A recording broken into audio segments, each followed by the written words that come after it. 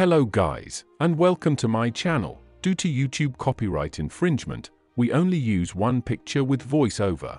Thank you for understanding. If you love history and biographies please leave a like and a sub. Let's start the video. Billie Holiday, April 7, 1915 to July 17, 1959, was an American jazz singer and songwriter. Nicknamed Lady Day by her loyal friend and musical partner, Lester Young, Holiday was a seminal influence on jazz and pop singing. Her vocal style, strongly inspired by jazz instrumentalists, pioneered a new way of manipulating phrasing and tempo. Above all, she was admired for her deeply personal and intimate approach to singing. She co-wrote a few songs, and several of them have become jazz standards, notably God Bless the Child, don't Explain, and Lady Sings the Blues. She also became famous for singing jazz standards written by others, including Easy Living and Strange Fruit. Her early career is hard to track down with accuracy. But evidence suggests that from an early age she worked as a prostitute for a Harlem brothel and was imprisoned for a short period for soliciting.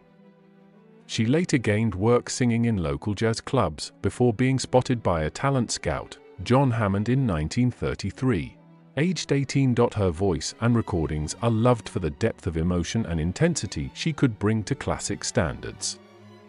Her range of voice was not the greatest, but her distinctive gravelly voice soon became very famous and influential. She was a famous icon of the jazz era and influential in the development of jazz singing.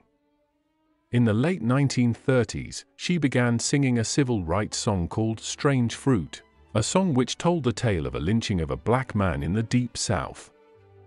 It was very controversial for that period, and it was not played on radios. It was recorded for Commodore Records, and she performed it many times over the next 20 years. Billie Holiday had a difficult upbringing which influenced her perspective on life.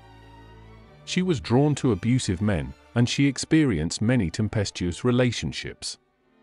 She also became increasingly dependent on various narcotics, which contributed to her premature death in 1959. Aged just 44,